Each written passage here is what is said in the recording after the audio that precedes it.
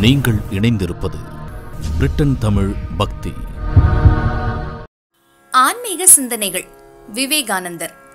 நாம் நினைக்கும் ஒவ்வொரு எண்ணமும் நாம் செய்யும் ஒவ்வொரு செயலும் குறிப்பிட்ட ஒரு காலத்திற்கு பின் சூட்சமமாக நம்மிடமே திரும்புகின்றன.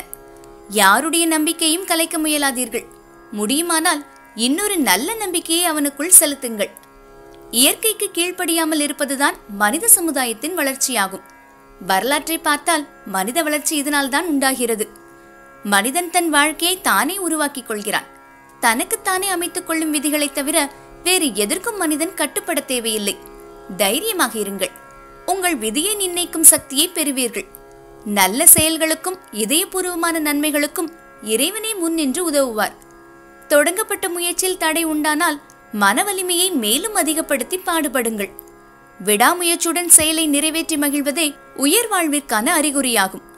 பெரியவர்கள் பெரிய தியாகங்களை செய்கிறார்கள்.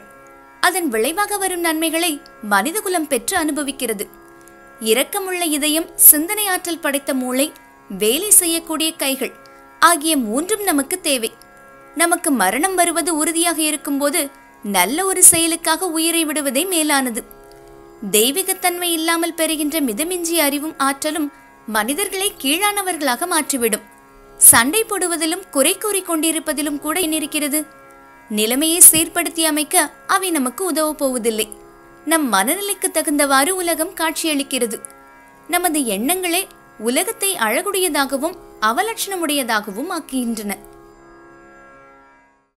மேலும் இது போன்ற நிகழ்வுகளுக்கு இணைந்திருங்கள்.